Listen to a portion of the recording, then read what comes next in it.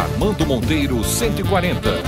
Essas obras, essas grandes obras que estão vindo a Pernambuco, a expansão de Suape, né, a Transnordestina, a transposição, todas essas grandes obras, todas as obras que hoje dão emprego, dão renda, dão desenvolvimento a Pernambuco e ao Brasil, tem a participação de Armando Monteiro Neto, amigo do presidente Lula, cooperador. Isso também não sou eu que digo, é o presidente Lula que diz isso, da lealdade de Armando, da força de Armando junto dele, o governador Eduardo Campos desde a mesma forma.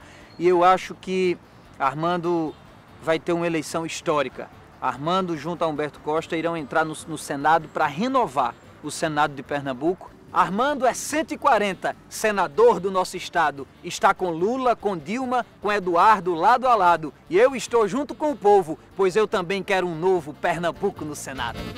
Armando Monteiro 140.